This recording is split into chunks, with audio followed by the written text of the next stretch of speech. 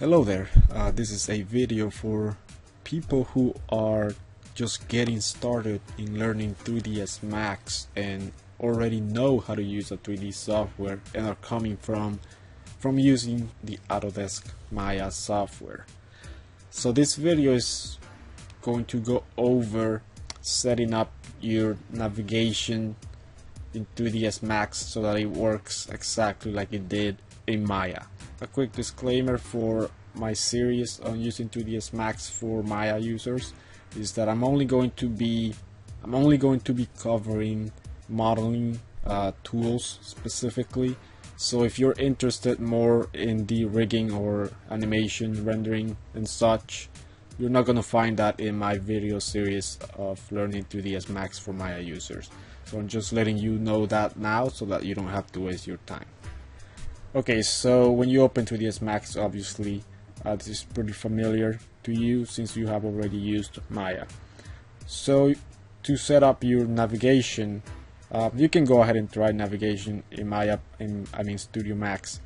But as you can, as you can see, it's a lot different than Maya. Well, not too different, but the uh, the controls are different for navigation. And if you're a Maya user and don't really know how to deal with learning a new way to navigate you in your 3D space, you may want to set that up in Max. So the easiest way to do that is to go to the Customize menu and scroll down to Preferences. Under the Preferences, when you open it, it's going to be under the General first, but the easiest way is to navigate to the Interaction mode. Now, you can choose from here if you want your mouse and keyboard interaction to be set to Maya. Now this may be a good idea and probably is probably the easiest way to go about it. Now this is going to change your navigation is going to be exactly like it is in Maya and it's also going to change some of the keyboard shortcuts uh, that you know in Maya such as pressing the spacebar to switch views, um, pressing G to repeat the last command and things like that. Now, I wish there was only an option to set up your mouse here rather than the whole keyboard. Why is that? The problem is that, at least for me, one of the problems that I found was that when I was learning it, and I switched it to Maya navigation here, was that when I was watching tutorials and some of the and the person doing the tutorial would say uh, press such and such uh, hotkey to do this and that and since I changed mine to the Maya navigation it was completely different and the the keyboard shortcuts that were shown in tutorials wouldn't be the same. And and that's mainly the main problem with doing it this way.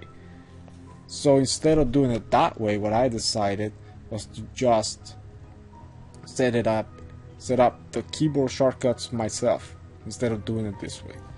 So if you're comfortable just doing it that way, uh, just be aware that if you watch other tutorials and there's ever and they ever mention keyboard shortcuts, uh, they may not work for you since you set it up for my uh, navigation. So the way I'm going to do it is by setting up my keyboard shortcuts. So I'm going to close this window and not do anything uh, with that window. And instead I'm going to the customize and I'm going to customize user interface. So from here, as you can see, you can set up your keyboard, your mouse, and other menus as well for your interface. So the first thing I want to do is set up your mouse. So I still want to have my navigation set up for Maya mode. But instead of just clicking the Maya mode, as we saw before, I'm just going to do it manually instead. So to change your keyboard shortcuts, as you can see, mine are already set to Maya yours are going to be different so to change that just click on the word for arc rotate and that's just to rotate around your view. As you know in Maya to do that is just the alt and left mouse uh, drag.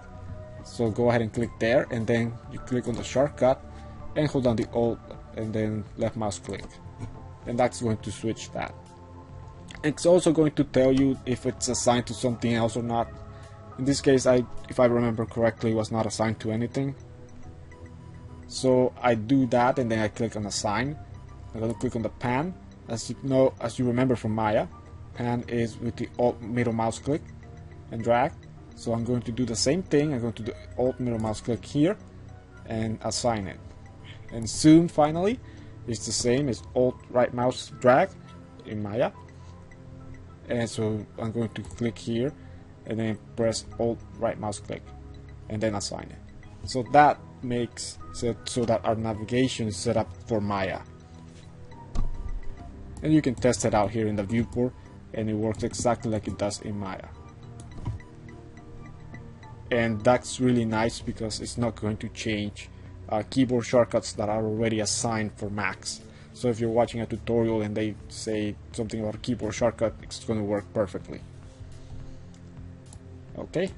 So that's pretty much how you set up your your navigation for Maya and in a way that doesn't mess up shortcuts that are already default in Max.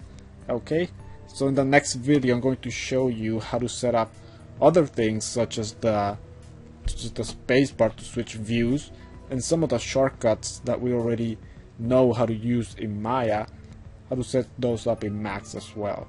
Okay.